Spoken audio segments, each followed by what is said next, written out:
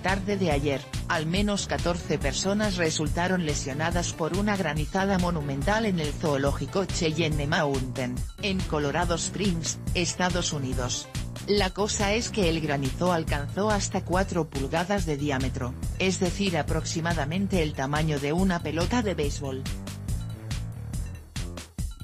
De acuerdo con medios locales, más de 3.400 personas quedaron varadas en el lugar cuando comenzó la granizada, ya que causó daños en cientos de vehículos, además de enviar a cinco personas a hospitales cercanos. Según USA Today, al menos 300 autos quedaron en calidad de inmanejables, por lo que muchas personas tuvieron que esperar ser evacuados de la zona.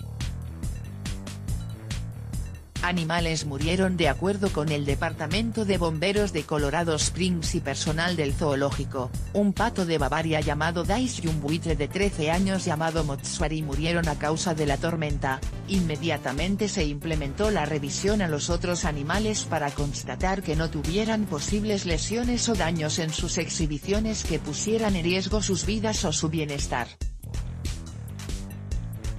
La infraestructura del lugar también resultó dañada por lo que permanece cerrada hasta nuevo aviso.